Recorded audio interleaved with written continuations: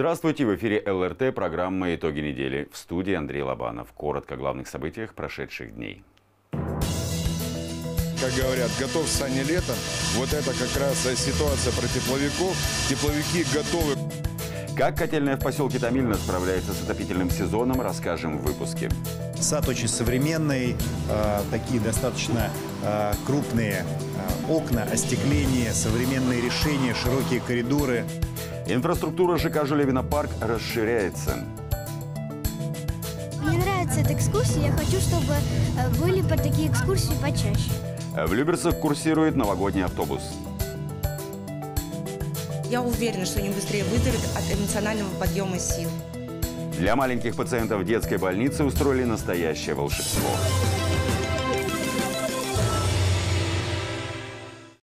А теперь подробнее об этих и других новостях. Еженедельное оперативное совещание прошло в администрации городского округа Люберцы.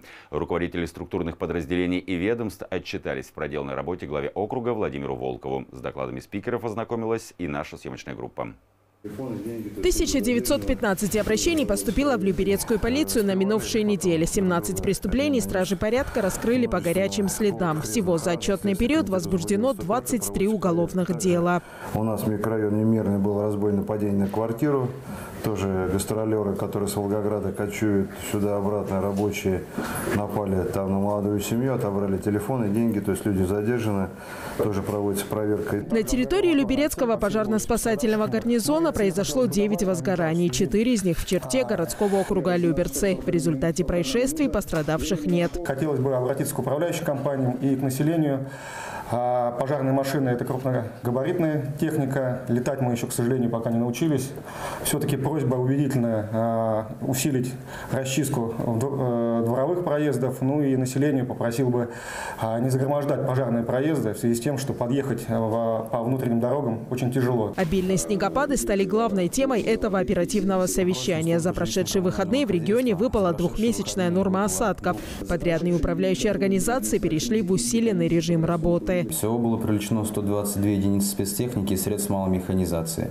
Задействовано 1088 человек. В первую очередь специалисты приводили в порядок входные группы, тротуары, пешеходные дорожки и проезды. К концу недели, по прогнозам синоптиков, температура воздуха поднимется до плюсовых значений. Руководителям управляющих компаний поручили взять под особый контроль работу по вывозу снега. Требует особого внимания также очистка крыш МКД и социальных объектов от наледи и сосулек. Луиза Игиазарян, Петр Пономаренко, Денис Заугольников, телеканал ЛРТ. В округе состоялась завершающая в этом году встреча с жителями. Люберчане задавали вопросы руководству муниципалитета, депутатам, представителям управляющих компаний, ресурсоснабжающих организаций и правоохранительных органов. О том, что беспокоит жителей, расскажут мои коллеги сделать аллею славы, как раньше было, когда идешь на заводе, то есть там династии, скажем так, трудовые, допустим, э, испытатели, что у нас везде были знаменитые испытатели, что у Миля. Сергей Белоусов работает в Национальном центре вертолетостроения. Промышленное предприятие находится в Томилине, на улице авиаконструктора Миля. Вечером тротуар погружается во тьму. Сергей Александрович попросил решить вопрос с освещением и предложил создать аллею героев. Это воспитание молодежи именно в плане э, патриотического воспитания. И также прививается любовь э, трудовым именно э, профессии. А Люберцы все-таки являются именно э, колыбелью, как получается, вертолетостроения.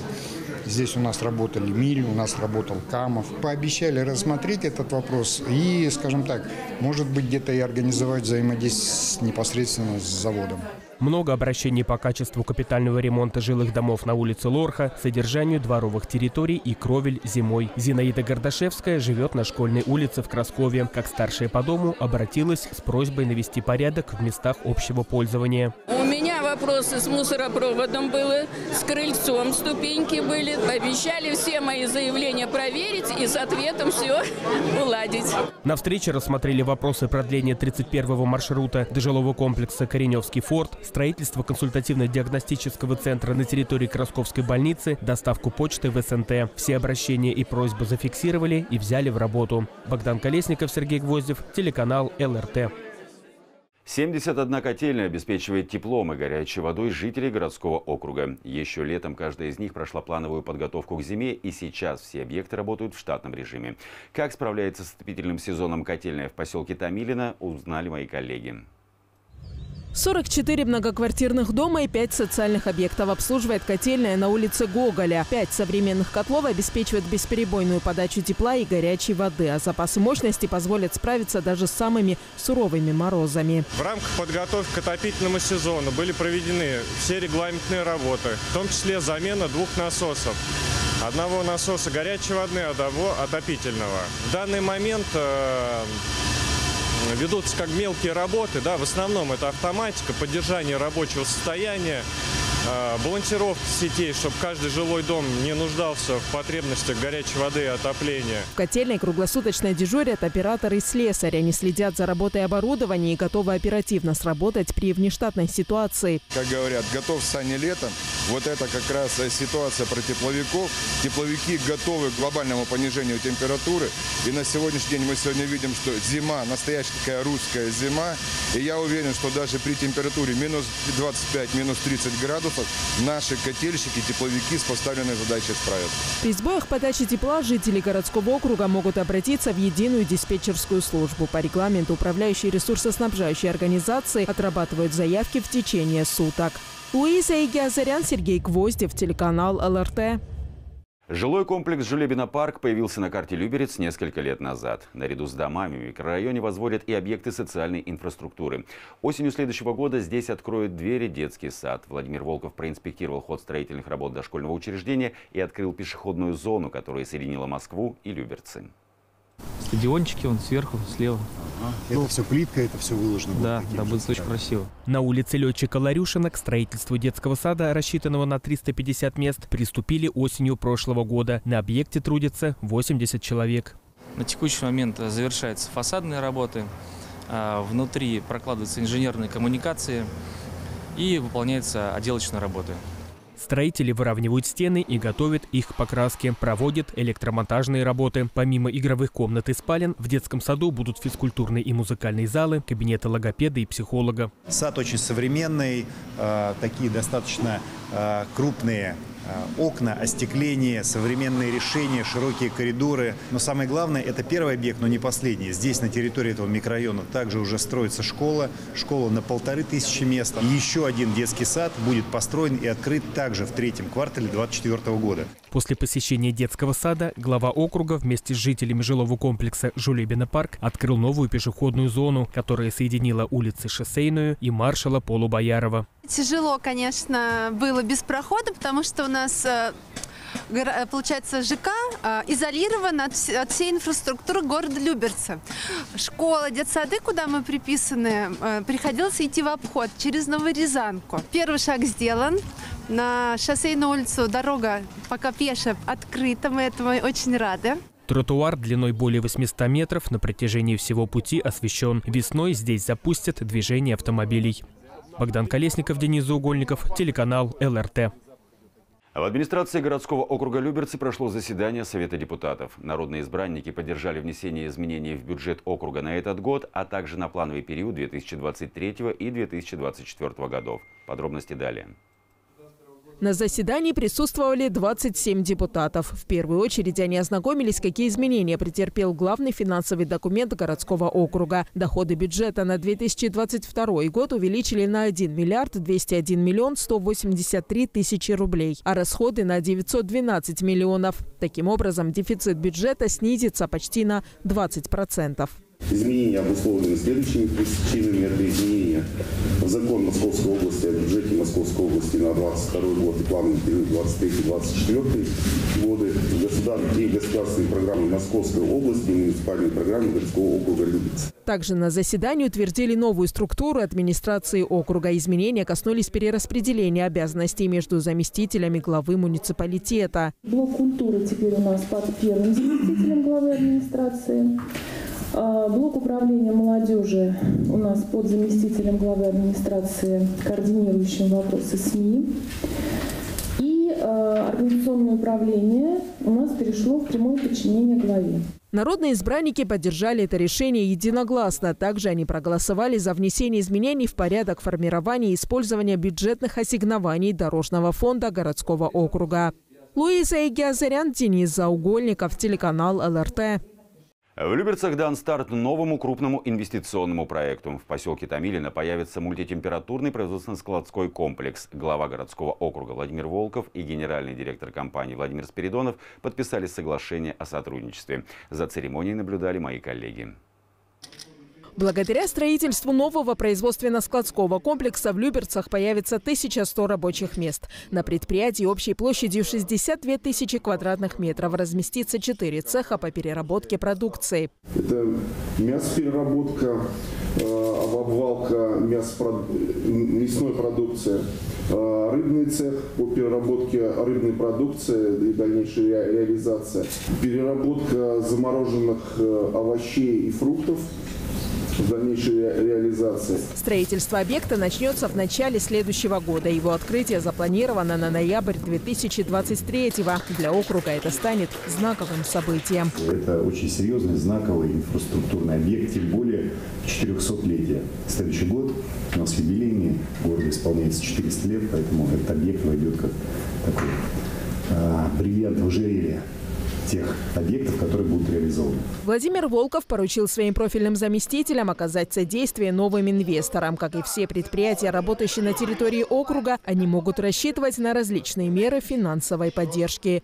Луиза Игиазарян, Денис Заугольников, телеканал ЛРТ. В Центральном поликлиническом отделении Люберецкой областной больницы заработал новый рентген-кабинет. Современное оборудование поступило в медучреждение по госпрограмме здравоохранения Подмосковья. Подробнее о его возможностях Луиза Егиазарян. Цифровой рентген-аппарат нового поколения, в отличие от своего предшественника, не нуждается в проявочной машине и дает более четкое информативное изображение. Еще один самый главный плюс этого оборудования – минимальная доза облучения. Был капитально отремонтирован э, кабинет э, рентгенологический. Менялись э, все инженерные сети, оконные рамы, капитально выравнивались э, стены, э, замена дверей на рентгензащитные. Новая высокотехнологичная техника позволит точнее определять патологии костей, суставов и внутренних органов. От точности поставленных диагнозов зависит успех лечения пациентов. Стоит задача, чтобы житель не выезжал из района. Более того, вот мы проговорили с врачами, сегодня как бы есть такое э, как бы некое, некое обязательство, что человек, который осматривает и дает консультацию врач, должно быть подтверждение второго врача. Как правило, это Моники, особенно если серьезные случаи. При необходимости могут отправить и к третьему врачу. Что немаловажно, рентгеновское оборудование отечественного производства. Кроме центральной поликлиники, подобные кабинеты появились также в 11 и 6. Луиза Игиазарян, Петр Пономаренко, телеканал ЛРТ. Подмосковье запустили специальный автобус, в который можно принести помощь для участников специальной военной операции. Он начал курсировать 18 декабря и до конца следующей недели посетит 8 городов. Маршрут микроавтобуса был проложен и в городском округе Люберцы.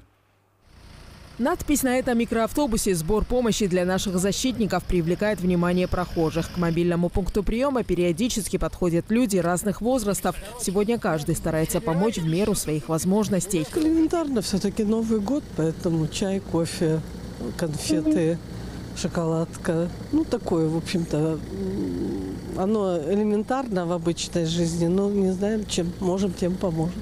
Помощь нужна любая, причем не только продовольственная. От спичек и зажигалок до спальных мешков и портативных газовых горелок. Благотворительную акцию организовали волонтеры Подмосковья совместно с Министерством информационных и социальных коммуникаций, а также Министерством транспорта и дорожной инфраструктуры Московской области. В наше время тяжелое ну, для нашей страны. Всем важно помогать, даже какой-то мелочью, тем же самым. Просто подойти, помочь или сделать что-то приятное, вышить что какие-то записочки, носочки. То есть для многих людей это будет ничего, значит, а солдатам будет это очень приятно, поскольку они защищают нашу страну. Собранную помощь сначала отправят на склад в Балашиху. Там она будет отсортирована и упакована волонтерами, а затем направлена в места дислокации российских военнослужащих, в том числе на передовую. Луиза Игиазарян, Сергей Гвоздев, телеканал ЛРТ. Маленьких пациентов Московского областного центра охраны материнства и детства в преддверии долгожданных зимних праздников ждал сюрприз. Ребят, находящихся на лечении в больнице, поздравили новогодние волшебники. Новогодний десант готовится к праздничной спецоперации. Дед Мороз и Снегурочка по тросам спустились с крыши детской больницы и заглянули в каждое окно, чтобы помахать ребятам и создать новогоднее настроение. Мне понравился да. Дедушка Мороз. Да. Хотелось бы, чтобы они сюда поднялись. Через несколько мгновений желание исполнилось. Новогодние волшебники вместе с волонтерами Подмосковья пришли к ребятам не с пустыми руками. Дедушка Мороз мне подарок привез. Эту акцию добровольцы Всероссийского студенческого корпуса спасателей Московской области проводят в Люберцах второй год. Дети находятся сейчас в такой ситуации, когда им больше всего на свете нужно хотя бы маленькое, вот небольшое новогоднее чудо. У детей просто отчасти глаза загораются, потому что Дедушка Мороз их и снаружи поздравил, и внутри пришел, и все желания им исполнил, и подарки подарил. Это ли не чудо? Дети были все такие радостные, никогда такого не видели шоу. И мы, взрослые, сами были удивлены такой подачей праздника. Я уверена, что они быстрее выздоровеют от эмоционального подъема сил. Встреча с зимними волшебниками отвлекла детей от мысли о болезни. У ребят поднялось настроение, а значит, они быстрее выздоровеют и вернутся домой. Богдан Колесников, Денис Заугольников, телеканал ЛРТ. В округе впервые стартовал необычный проект «Новогодний автобус». Школьники вместе со сказочными героями отправились в увлекательное путешествие по Люберцам. С ребятами прокатились и мои коллеги. В свое первое путешествие по Люберецким улицам новогодний автобус отправился строго по расписанию. Пассажиры, учащиеся четвертого лицея. Кикимора в игровой форме рассказала ребятам о почти 400-летней истории Люберец. После Бородинского сражения Первая и вторая русские армии под предводительством кого? Кутузова. Совершенно верно. Молодец, мальчик Кутузова. Остановились в этом селе на отдых. Вот, пожалуйста, справа посмотрите. Во время поездки по зимним улицам ребята поучаствовали в анимационной программе и окунулись в историю родных Люберец. Где жил и учился первый космонавт, почему пруды называются Наташинскими, в каком году Люберцы окончательно получили статус города и другие интересные факты из истории Люберецкого края. Мне нравится эта экскурсия, я хочу, чтобы э, были такие экскурсии почаще. Конечная остановка новогоднего автобуса – Центральный парк. Здесь юных путешественников уже ждал Дед Мороз. Он подготовил для ребят много сюрпризов – зимние забавы, песни и хоровод вокруг елки. Мне понравилось представление. Мы здесь играли, плюс мы получим подарки. Мне здесь все нравится. Хочу, чтобы так было каждый Новый год. Развлекательная программа проходит в рамках проекта губернатора Московской области «Зима в Подмосковье». В течение двух недель новогодний автобус совершит 28 рейсов. В увлекательной экскурсии по Люберцам в преддверии главного новогоднего праздника поучаствуют около тысячи школьников. Богдан Колесников, Денис Заугольников, телеканал ЛРТ. Главный праздник зимы все ближе, и детвора и взрослые с нетерпением ждут Новый год и верят, что в сказочную ночь исполнятся все заветные желания и непременно произойдет чудо. Воспитанники детского сада «Журавушка» каждый год делают новогодние игрушки своими руками. Сегодня ребята мастерят поделки из бумаги. Ребята, мы ждем все с вами чудесного волшебного праздника – Новый год. И, конечно, в преддверии этого праздника все украшают лесную красавицу, пушистую красивую елку. И чтобы она была такой чудесной, красивой, мы с вами сделаем сегодня игрушки. Девочки старательно склеивают символ наступающего года – зайчика, а мальчишки – доброго волшебника Деда Мороза. Наши дети очень любят мастерить, делать своими руками, в нетрадиционных техниках работать. И, конечно же, к каждому празднику у нас проводится в детском саду выставка. Дети всегда любят творить своими руками.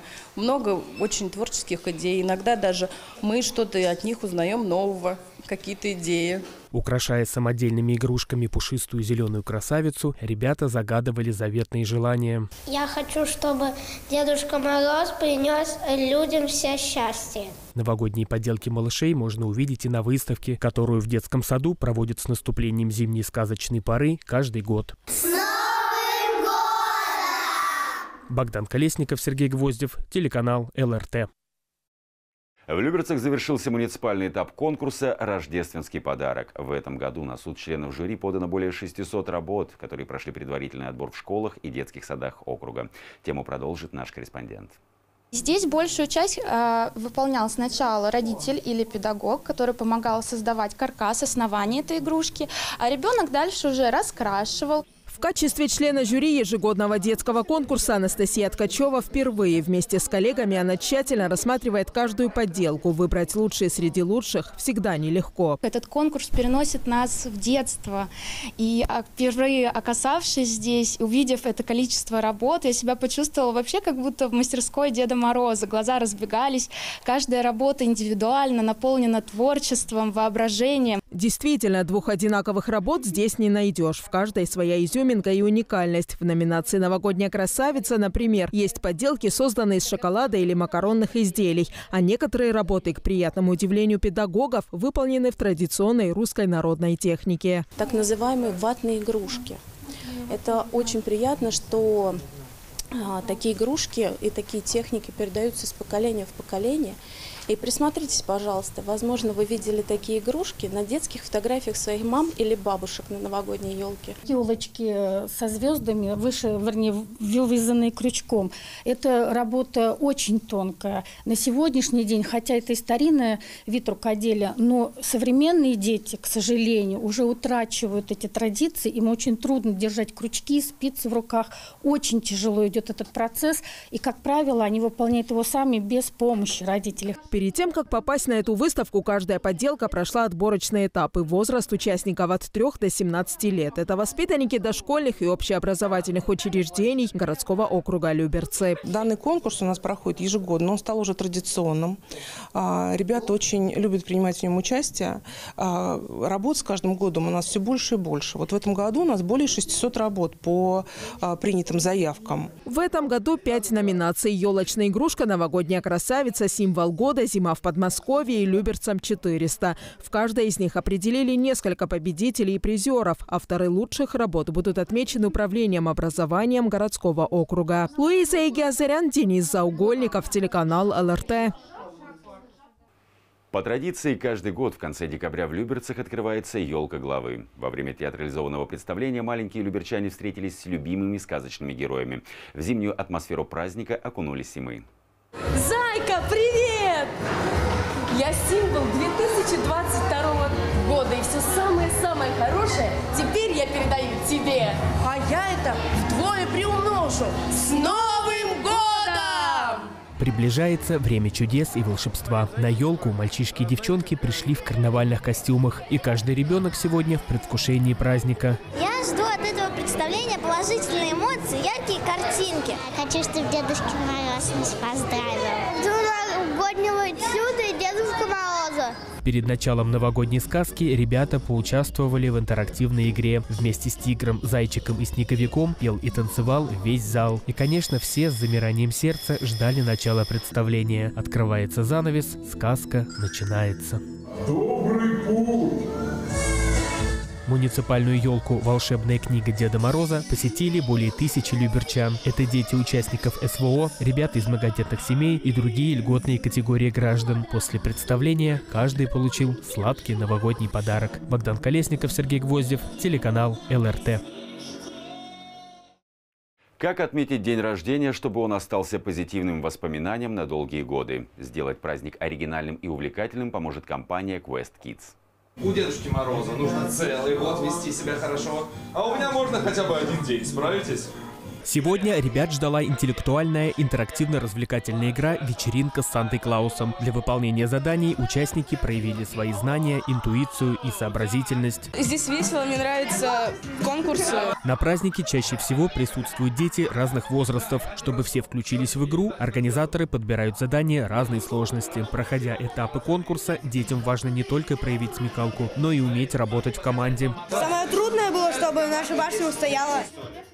Кроме музыкальных и интеллектуальных конкурсов, ребятам пришлось пройти ряд непростых испытаний. Например, съесть гремучую смесь соли и сахара, прокатить носом яблоко по полу, окунуть лицом в тарелку с пеной для бритья. Супер! Очень вкусно! Анимационные программы рассчитаны для детей от 4 лет. Развлечение по душе найдется для каждого. Различные мыльные шоу – это для совсем маленьких детишек. А для возраста постарше мы можем с вами устроить химическое шоу или научное шоу, где будет взрываться, летать, э, молнии можно будет поймать собственными руками. А для еще старшего возраста у нас идет лазертаг, фокусы. Аниматоры могут разработать программу индивидуальную. К ней могут подключиться даже взрослые. Мне понравилось, я хочу таких конкурсах участвовать. Компания Quest Kids занимается организацией выездных праздников в Москве, Подмосковье и других регионах России. В интерактивных играх, развлекательных шоу и квестах могут принять участие и дети, и взрослые. Богдан Колесников, Денис Заугольников, телеканал ЛРТ. Грамотно презентовать себя и свою компанию, четко сформулировать мысль и донести ее до аудитории. Об этом расскажут на мастер-классах, которые проводят на ЛРТ для экспертов, работающих в разных бизнес-нишах. Помогут в студии телеканала и создать видеовизитку.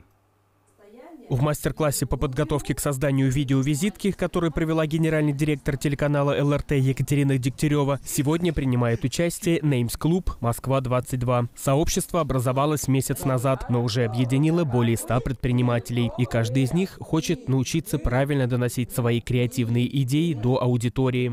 Каждый участник нашего клуба очень многогранный. У него есть таланты. Не все могут вот это вот барьер, который между «я могу дать» и «я хочу взять» состоит в том, что нет манифестации правильной. И то есть вот эта визитка и есть вот эта манифестация «я есть, я здесь, приходи ко мне». Вот, собственно, поэтому эта визитка нужна. Мастер-класс начался с незамысловатых, но действенных упражнений. Основное внимание на произношение, артикуляцию и голос. Бг, бги, бгы. Задания усложняются. После артикуляционной гимнастики упражнения для дыхания. Теперь участники мастер-класса готовы к следующим творческим испытаниям. Как самые маленькие жители округа готовятся к Новому году, смотрите в сюжете. Бизнес-леди Патимат Алигаджиева работает в строительной компании. С клиентами находит общий язык легко. От мастер-класса осталась под впечатлением. Для меня это было очень прям сложно, волнительно и интересно. Мы для работы будем снимать видеовизитку, и как раз-таки, посмотрев сегодня вот это все, как происходит, как нужно себя там, как э, презентовать, да, говорить о себе, как речь поставить, мы будем тренироваться и к вам вернемся записать видеовизитку. Креативно поздравить с праздником родных и друзей, создать видеовизитку для компании в студии нашего телеканала может каждый. Богдан Колесников, Денис Заугольников, телеканал ЛРТ.